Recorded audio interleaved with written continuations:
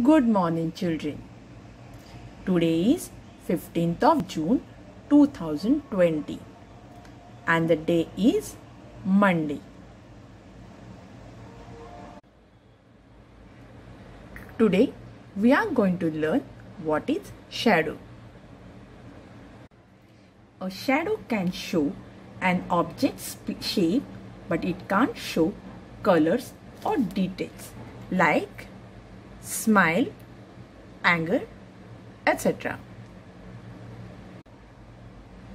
A shadow is a dark shape that is formed when an object blocks the source of light.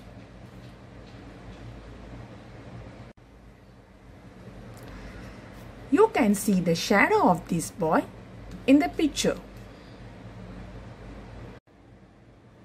You can see the shadow of the tree.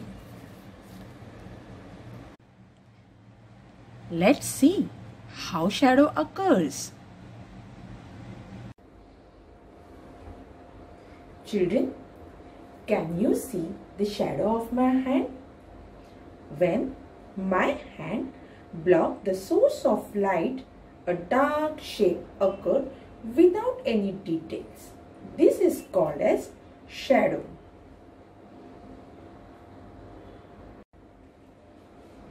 Look at the shadow of this beautiful plant. You can't see colorful flowers and leaves in the shadow.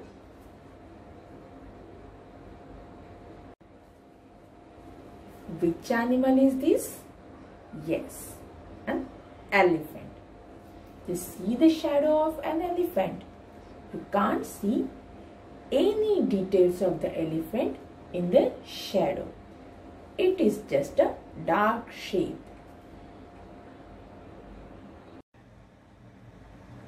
Children, I hope all of you understood what is shadow.